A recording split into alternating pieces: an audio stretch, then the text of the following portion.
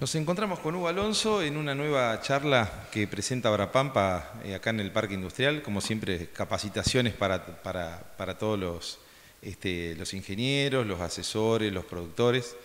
Pero primero hablemos un poco de qué pasó ayer. Ya llovió, pero bueno, antes de que llueva pasaron cosas. ¿Qué tal? Buenas noches.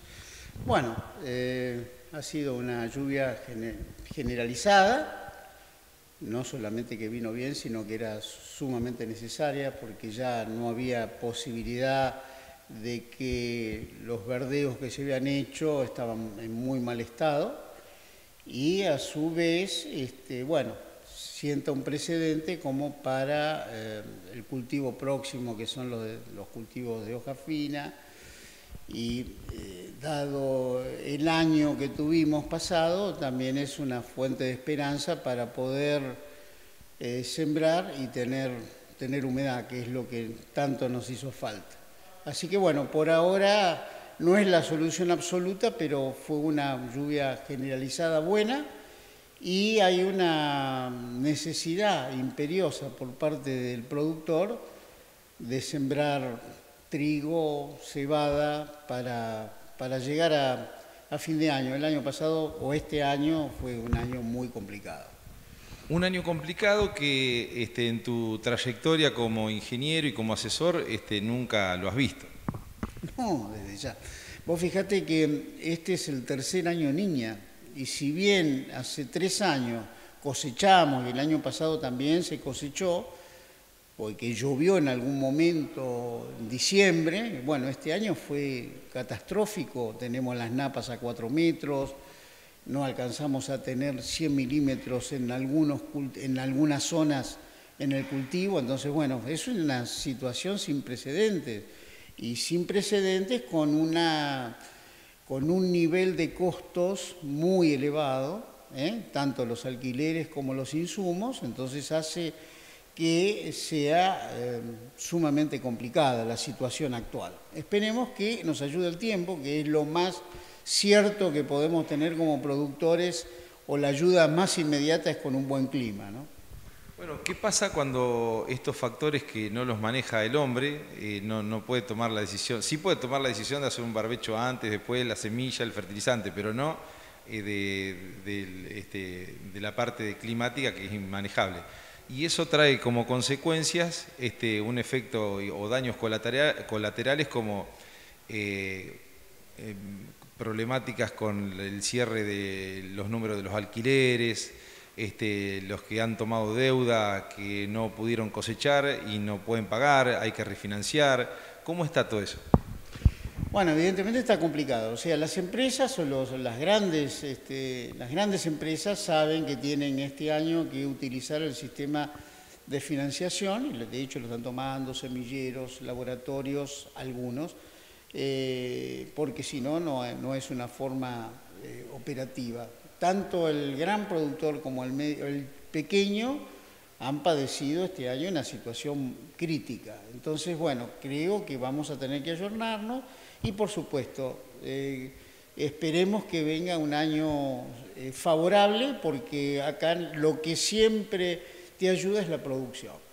Después los números evidentemente no dan, las hojas no vale, eh, no vale en función de lo que cuesta hacerla, los alquileres están altísimos, la gente paga esos alquileres porque tienen que seguir trabajando y bueno, no hay una política de, sinceramiento, empezaron como que iba a bajar algo y ahora se retomaron en los niveles del año pasado que son inviables a la producción.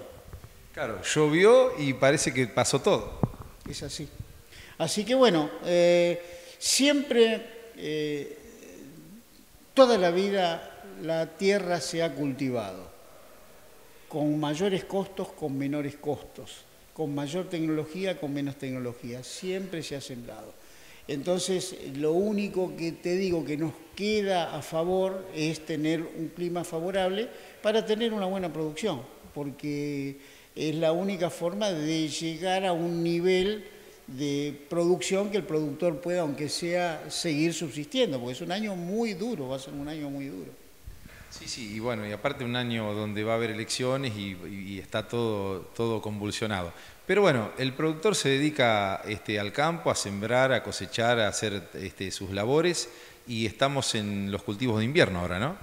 Correcto, sí, ya está, estamos haciendo, ya se sembrando, se está gente que está sembrando, los trigos de ciclo largo ya empezaron a sembrarlo, después eh, vendrán los intermedios a corto y bueno, esperando de que sea favorable el tiempo y después eh, realmente se hace por necesidad, no por una cuestión de gusto. A lo mejor la gente, si bien utiliza la fina como rotación, normalmente apunta y van a apuntar fundamentalmente a soja porque el maíz tiene un costo también importante. Aunque los costos en soja con la problemática de maleza y en los últimos tiempos ha elevado eh, en forma muy importante también el costo de hacer una soja. Bueno, en realidad los costos están muy altos, los alquileres también, así que lo que tenemos que hacer es pensar en tener un buen clima para tener una alta producción. Hugo, eh, te hago una consulta con respecto a, las, a la semilla de trigo o de, bueno, de soja, por ahí no, no es tan complicado, o de maíz con respecto a la seca del año pasado, si puede haber faltante de alguna variedad o algún híbrido. Todos los semilleros, en lo que se refiere a maíz, este, han tenido una producción muy, eh, muy pequeña con respecto a un año normal. O sea, va a haber faltante, hubo también carryover, excedente del anterior, que eso lo van a seguir vendiendo, lo han conservado en cámaras. No sé si alcanzará o no alcanzará, pero la producción es menor. En materia de soja es terrible es muy complicado. Nosotros hemos eh, cosechado lotes de 700, 800 kilos de lotes que eran para semilla y algunos no van a servir. O sea, hoy una semilla que tenga el 80, 85% es muy bueno. Entonces va a haber problemas también. El productor que pueda llegar a tenerlo, lo bueno, utilizará más kilos para, pero no, el, el problema es general. Hubo problema en la producción de pasturas, hubo lotes de, Lotus que, no, que no, no, hubo producción, hubo problemas muy serios. Así que bueno, este, va a haber problemas, va a haber problemas, así que vamos a tener que acomodarnos como, como podamos, con lo que hay. Bueno, Hugo, y contame cómo está Abrapampa con el asesoramiento a, los productores. En, bueno, ahora se va a hacer, se está eh, desarrollando una charla, pero siempre al lado del productor, en asesoramiento, acompañamiento y bueno, este, siempre junto a, la persona que lo necesita. Sí, correcto. Estamos siempre eh, con el productor, con los laboratorios, tratando de hacer charlas informativas eh, de productos nuevos. Hay, eh, una innovación en el sistema productivo debido a las problemáticas de maleza también, a las resistencias. Por eso también hacía hincapié de los costos.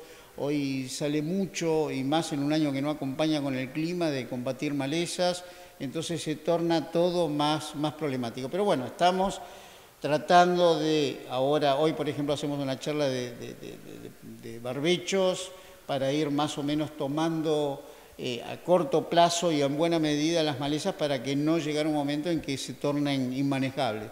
Así que bueno, sí, estamos siempre a pie de cañón y tratando de innovar con, otro tipo de, negocios, de, ver la, posibilidad de, que sea algo más, cada vez un poquitito más específico y apuntar a negocios más particulares.